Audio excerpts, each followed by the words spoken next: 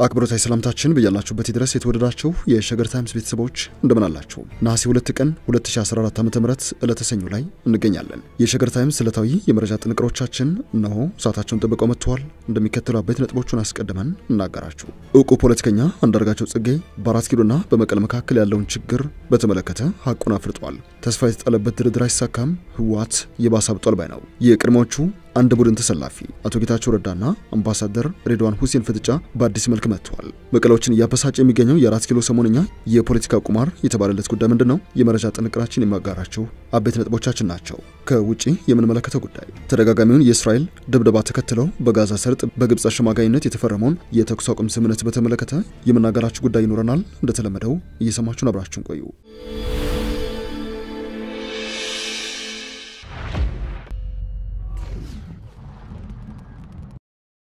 ወደ ዝርዝር ጉዳያችን እናምራችሁ። የአዲስ አበባና የመቀለ ሰሞነኛ ፍጥጫ በዝምታ ውስጥ ይገኙ የነበረው እውቅ ሰዎችን ወደ አደባባይ እያስወጣ ማናገር ጀምረዋል። የአራት ኪሎና የመቀለ የቃላት ልውውጥ በመካከላቸው አለመተማመን መፍጠሩም ጭምር የአውሮፓ ሕብረት ልዩ ልዑክ እነዚህ ያለዎች እንዲስማሙ አንዳች ተአምር ሳያስፈልጋቸው አይቀርም በሚል ለዶይቼ ቬለ ተናግረው ነበረ። የአውሮፓ ሕብረት በኢትዮጵያ ወክሏቸው የመጡት አንቶ ዌበር መቀለ ደርሰው ከተመለሱ በኋላ በሰጡት ቃለ ምልልስ በኢትዮጵያ ፌዴራል መንግስትና በህወሓት መካከል በዚህ ሰዓት የምናስተውለው ትልቁ ችግር አለመተማመናቸው ነው ሲሉ ነበር የገለጹት። ታዋቂውና የቀድሞ የግንቦት ሰባት አመራር በኢሳት ደግሞ የኢትዮጵያ ሳተላይት ቴሌቪዥን ኢሳት ዳይሬክተር አንዳርጋቸው ጽጌ ተስፋ የተጣለበት የመንግስትና የህወሓት ድርድር ሊሳካ የሚችል አይደለም ሲል በይፋ ሲናገር ተደምጠዋል። አንዳንዶች ጠባጫሪ ሲሉት፣ ሌሎች ደግሞ አይ ሀቁን መናገሩ ሁለቱም ወገኖች ደፍረው ወደ ሰላማዊ ውይይት እንዲገቡ መነሻ የሚሆን የእውቅ ፖለቲከኞችም ሆነ የሌሎች ወገኖች ጫና አንዱ አካል ነው ሲሉ እየገለጹት ይገኛሉ። ድርድሩ አይሳካም ከሚሉት ወገኖች መካከል አንዱ ነኝ ሲል በጥንቆላ አሊያም በመላምት ላይ የተመሰረተ ሀሳብ እየሰነዘርኩ አይደለም የሚለው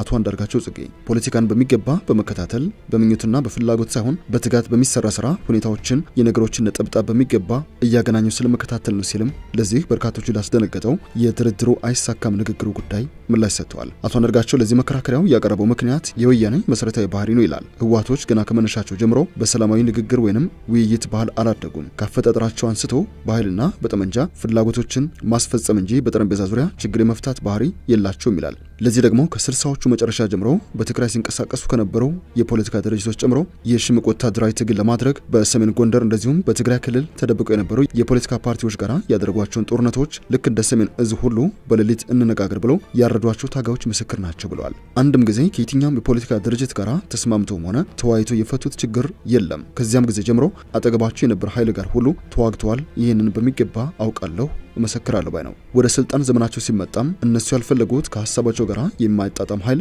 ሊወገድ የሚገባው እንጂ ፈጽመው በልዩነቶች ተቻችሎ መኖር የሚባል አንዳችን ፍላጎትም ሆነ ዓላማ የላቸውም። ይህ ደግሞ በሽግግር መንግስትም ሆነ ኢህአዴግ ተብሎ በተመሰረተው የአጋርና የአውራ ፓርቲ ጥምረት ላይ በሚገባ የተከታተልን ጉዳይ ነው ባይ ነው። የሰሜን ኢትዮጵያ ጦርነት መጀመሪያውኑ ሊፈጠር የሚገባው አልነበርም የሚለው አንዳርጋቸው ህወሓቶች ቅሬታዎችን በሰላማዊ መንገድ ለመፍታት ያላቸው ፍላጎት ዜሮ በመሆኑ ምክንያት ያ ሁሉ ውድመትና ቀውስ ተከትለዋል። አሁንም ቢሆን ጦርነቱ ቆሞ ችግሮች በሰላማዊ መንገድ ለመፍታት የሚታዩ ጥረቶችም ከጅምራቸው እየከሸፉ የሚገኙት ህወሓት ባስቀመጠው ቅድመ ሁኔታ ነው የሚለው አንዳርጋቸው እኔ ከማውቀው ባህሪ የታሰበው የድርድር ተስፋ በተጨባጭ መረጃ አይሳካም ሲል ተናግሯል። ከዚህ በፊት የወልቃይት ጉዳይ የፌዴራል መንግስትም ሆነ የአማራ ህዝብ ቀይ መስመር ነው ሲል ሀሳቡን ሰጥቶ የነበረው አቶ አንዳርጋቸው ጽጌ ድርድሩን በተመለከተም ይህን መሰል አስተያየት ሲሰጥ የመጀመሪያው እውቅ ሰው ሳይሆን አይቀርም ተብሏል።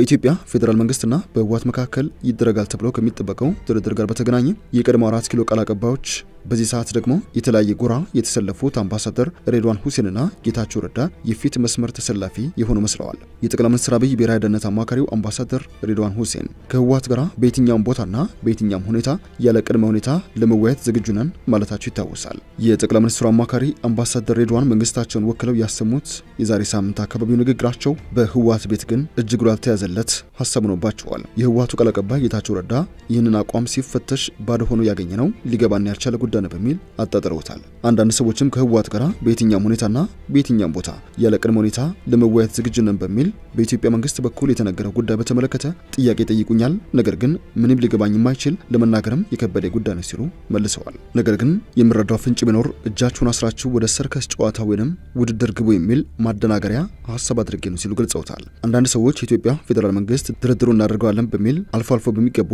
ቃል ኪዳኖች ህወሓትን ማዳከም ይፈልጋል የሚል ሀሳቦችን ሲሰጡ ይስተዋላል። ከመቀለ በኩል የሚሰሙ ተቃውሞችም የፌዴራል መንግስቱ ድርድርን እንደ ካርድ በመምዘዝ የጊዜ መግዣ ስልት እያደረገው ይገኛል በሚል ምሬቶች ይሰማሉ። ህዝባችን እየተራበ ነው፣ ጨለማ ውስጥም ይገኛል፣ ሙሉ በሙሉም ታግቶ ይገኛል። ይህ ከህወሓት ጋር በየትኛውም ሁኔታና በየትኛውም ቦታ ያለ ቅድመ ሁኔታ ለመወያየት መዘጋጀት ሳይሆን በግልጽ ያልተደበቀ ዲፕሎማሲያዊ እብሪት ነው። ይህ አካሄድ ደግሞ ፈጽሞ አይሰራም ሲሉ በትዊተር ገጻቸው ላይ ያሰፉት የተቃውሞ ጽሁፍ ያሳያል። አቶ ጌታቸው ረዳ ከዚህ ውጭ ድርድሩን ይመራል ተብሎ የሚጠበቀው የአፍሪካ ህብረት ነው። ባለፈው ሳምንት መቀለን ጎብኝተው የአምስት ሰዓት ቆይታ ማድረገው የተመለሱት የአሜሪካና የአውሮፓ ህብረት ልዩ መልእክተኞች የአውሮፓ ሀገራት ዲፕሎማቶች ድርድሩ በአፍሪካ ህብረት የበላይነት እንዲመራ እንፈልጋለን፣ ድጋፋችንም የምንሰጠው በህብረቱ የበላይነት ለሚደረገው ድርድር ነው ማለታቸው ይታወሳል። ህወሓት ምንም እንኳን በኦሉሴጉን ኦባሳንጆ ተስፋም ሆነ እምነቱ የለኝም እያለም ቢሆንም እየመረረውም ቢሆን አዲስ አበባ መሀል በሚገኘው የአፍሪካ ህብረት እየተመራ ወደ ውይይት እንዲገባ ፈረንጆቹ አማራጮች በራሱ ሜዳ አረጋግጠውለት ተመልሷል በሚል እየተገለጸ ይገኛል። ዛሬ እንደተሰማው ከሆነ ደግሞ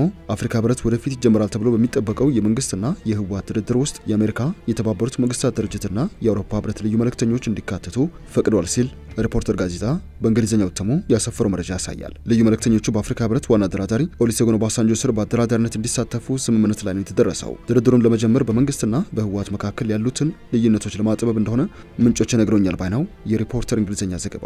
የአፍሪካ ህብረት የሰላምና ጸጥታ ምክር ቤት ባለፈው ሳምንት መጨረሻ ቀናት ባካሄደው ስብሰባ ኦሉሴጉን ኦባሳንጆ በኢትዮጵያ የሚያካሄዱትን የሰላም ጥረት በተመለከተ ሪፖርት አቅርቦ የነበረ ሲሆን ህብረቱ ኦባሳንጆ ለሚያደርጉት የማሸማገል ጥረት ድጋፋቸው እንዲሰጣቸው ጠይቀውም ነበረ። ነገር ግን ህብረቱ የሪፖርተር ዘገባ የጠቀሰው መረጃ በተመለከተ ወይንም ስለተደረሰው ስምምነት አንዳችም ማረጋገጫ እስካሁን አልሰጠም።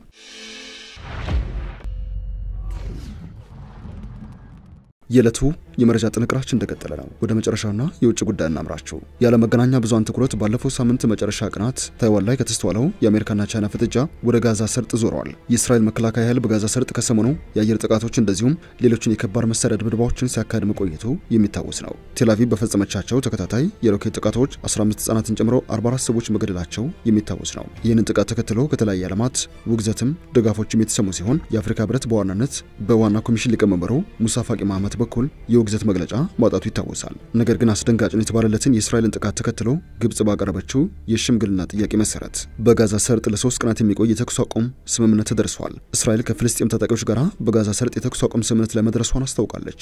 በግብጽ አደራዳሪነት ትላንት የተደረሰው የተኩስ አቁም ስምምነት በአካባቢው ሰዓት አቆጣጠር ከትላንት ምሽት 11 ሰዓት ተኩል ጀምሮ ተግባራዊ ሆኗል ነው የተባለው። ስምምነቱ በሁለቱ ወገኖች መካከል ሲደረግ የነበረውን የአየር ድብደባና የሮኬት ጥቃት የሚያስቆም ነውም ተብሎለታል። እስራኤል የዜጎቿ የዕለት ከዕለት ህይወት ሰላሙ እንደሚያሳስባት ገልጻ የሰላም አውርድ ስምምነቱ ከተጣሰና በድጋሚ ጥቃት የሚፈጸም ከሆነ እርምጃ እንደምትወስድ ነው ያስጠነቀቀችው። ሁለቱ ወገኖች ስምምነት ላይ ከመድረሳቸው ቀደም ብለው የፍልስጤም ታጣቂዎች እስራኤል ላይ የፈጸሙት የሮኬት ጥቃት 96 በመቶ ያክሉ በጸረ ሚሳይል መክሸፋቸውን ራሻይን ታይምስ ዘግበዋል። እስራኤልም የታጣቂዎቹ መሪ ይገኝበታል ባለችው በጋዛ በሚገኝ አንድ ህንፃ ላይ በወሰደችው አጸፋዊ የአየር ድብደባ ታይሲር አልጃባሪን የተባለውን የጦር አዛዥ ስለመግደሏ አስታውቃለች። በወሰደችው ተጨማሪ የአየር ላይ ጥቃትም የታጣቂዎቹን የአቅርቦት መጋዘኖችና መከታተያ ቦታዎች ሁሉ ያወደመች ሲሆን ሌላ ስሙ ያልተገለጸ ከፍተኛ መሪም መግደሏን ነው ይፋ ያደረገችው። ለተሰኘው የሸገር ታይምስ ልዩ የመረጃ ጥንቅሮቻችን ያደመጣችኋቸውን ይመስላሉ። ስለሰማችሁን አመሰግንን። በያላችሁበት ሰና ጊዜ